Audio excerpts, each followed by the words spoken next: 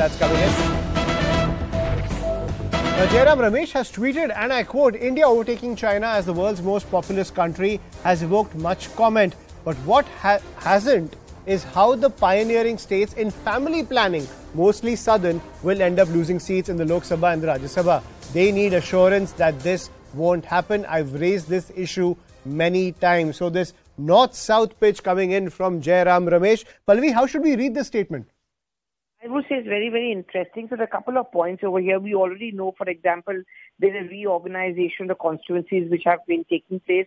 And the Congress, like many opposition parties, have gone on record to oppose it, expressing the concern that it is, it is being done in a systematic manner, which is only going to help up suiting to the BJP and to a disadvantage of other opposition political parties. But now Jairam Ramesh gives a new twist to the new population figures which have been released, which of course puts India ahead of China. What he's here making a pitch is, first of all, for the southern states. He is a member of parliament from Karnataka. We also know elections are going on in Karnataka. And South often complains of what they call the imposition of North.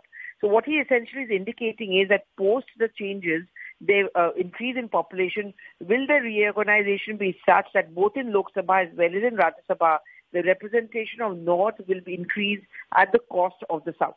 Right. Thank you, Pallavi, for getting us that piece of breaking news. So, Jairam Ramesh raising that north-south uh, point when it comes to this, uh, you know, very evergreen issue when it comes to north, the north-south divide, where the southern states say that they have focused on family planning, but they have less Lok Sabha and Rajya Sabha seats as compared to the northern states who have never focused on family planning. Uh, the southern states have made this pitch. Why should they constantly be punished for doing something that keeps population under control. And Jairam Ramesh raising that point once again as India has overtaken China when it comes to the population figures. But let's shift focus to